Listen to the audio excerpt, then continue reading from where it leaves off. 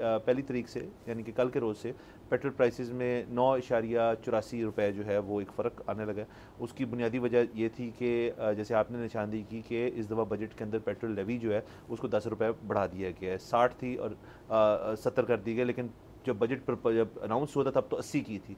तो अस्सी के बाद उन्होंने फिर न्यू जब अप्रूवल के अंदर गया वो सारा तो उन्होंने सत्तर कर दी। जदारी साहब ने साइन भी कर दिया, बजट बजट ओके हो गया लेकिन आज के दिन, अभी दोपहर में जब हमारे जो फाइनेंस मिनिस्टर औरंगज़ेब साहब हैं वो आए तो उन्होंने क्वेश्चंस ले रहे थे रिपोर्टर्स तो उन्होंने बड़ी क्लैरिफिकेशन दी कि जी ये बिल्कुल हमने अस्सी की और हमने फिर सत्तर कर दिया ये प्रपोज है और ये इमीडिएट नहीं है। सो इस वक्त जो है वो कह रहे हैं कि टैक्स ले, जो लेवी है पेट्रोलियम प्रोडक्ट्स पे वो साठ पे ही महदूद है इस वक्त रखेंगे उसको। तो वो सत्तर कल से नहीं हो रही। एक तो ये बात है। तो इसका मतलब है इंटरनेशनल प्राइसेस की वजह से बढ़ जाए अगर पेट्रोल कल के दिन तो बढ़ गया। लेवी उतनी ही है जितनी पहले से चलती आ रही है सिक्सटी रुपीज़। ये सेवेंटी रुपीज़ इवेंचुअली हो जाएगी, अभी हुई नहीं है। तो बहुत ज़्यादा चांस इस चीज़ का है कि कल के रोज़ पेट्रोल प्राइसेस में इंक्रीज़ ना आए। अगर तो आलमी मंडी के अंदर अगर इंक्रीज़ आया है पेट्रोल की, आपकी ऑयल की प्राइसेस के अंदर तो उसका इफ़ेक्ट कुछ देर तक आता है। लेकिन क्योंकि ये इफ़ेक्ट मेरे ख्याल में कुछ देर से चल रहा है तो कोई पता नहीं कल के दिन इंक्रीज़ आ जाए। बट ये जो नौ रुपये वाला इंक्रीज़ है, ये नहीं आएगा। इवेंचुअली तो इसने नौ रुपये से ऊपर जाना था।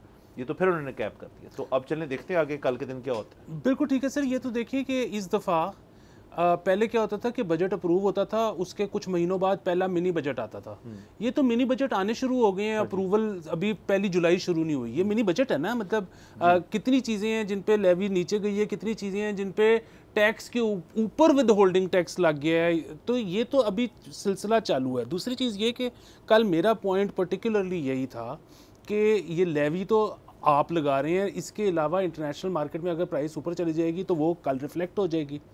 बुनियादी बात यह है कि जब ये क्रेडिट ले रहे थे पंद्रह जून को।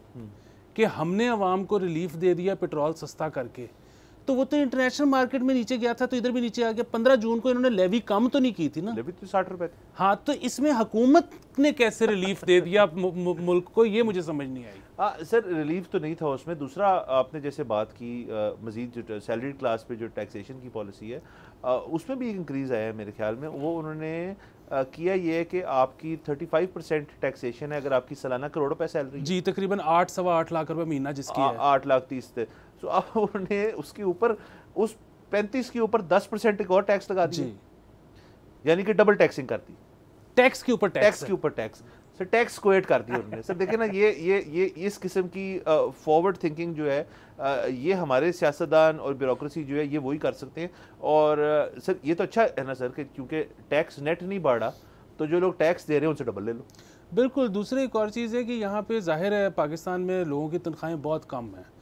ज़्यादातर आबादी की सो इस वक्त बैठ के जो हमें सुन रहे हैं वो शायद कहीं उनको हमदर्दी ना हो कि यार ठीक है एक बंदा साढ़े आठ लाख रुपये अगर ले रहा है तो उस पर जितना मर्ज़ी टैक्स लगा दो हमें क्या फ़र्क पड़ता है बुनियादी बात यह है कि साढ़े आठ लाख रुपये पाकिस्तान के हिसाब से तो बहुत पैसे हैं हम्म। लेकिन ये तीन हज़ार डॉलर भी नहीं बनता सो हम्म। पाकिस्तान में अगर किसी को ये सैलरी मिल रही है ना तो शायद वो इस काबिल है कि वो अमरीका इंग्लैंड चला जाए तो उसकी सात आठ हज़ार डॉलर हम्म। तनख्वाह हो सो होगा ये कि जब आप इस किस्म की टैक्सेशन करेंगे तो या तो वो लोग ब्राउन एनवलोप में तनख्वाह लेना शुरू कर देंगे, वो थ्रू बैंकिंग चैनल तनख्वाह ही नहीं रिसीव करेंगे, जिससे अगेन टैक्स कलेक्शन में कमी होगी, या वो हो सकता है मुल्क छोड़ के बाहर चले जाएँ। सो आपके मुल्क में जो काबिल लोग हैं, वो मज़ीद कम हो जाएँगे।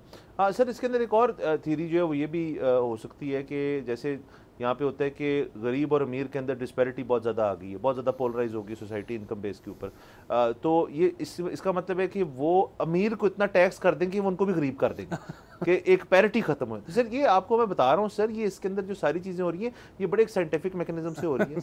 आप बेसिकली पॉइंट सर सारा ये है कि आप ना थोड़ी सी कमर कसें और आप सब करें। सर इससे मुझे एक और चीज़ याद आ गई वैसे हम डिस्कस कर लेते हैं। और ये यूके का यूके के अंदर इलेक्शन अभी चार तारीख को होने को जा रही है। अच्छा लेकिन ये जो आपने कमर कसने वाली बात की हम तो कस रहे हैं लेकिन जो बजट है वो ऐसे रिफ्लेक्ट नहीं करता किसी भी जगह पर कि सरकारी अफसरान को कहीं पे कमर कसनी पड़ रही हो। सो हम्म। ये फिर वही जो आप डिस्क्रिमिनेशन की बात करते हैं यहाँ पे है। हाँ। उनको नहीं करनी पड़ी उनको नहीं करनी पड़ी सब्सक्राइब करें और बेल दबाएँ ताकि कोई खबर रह न जाए।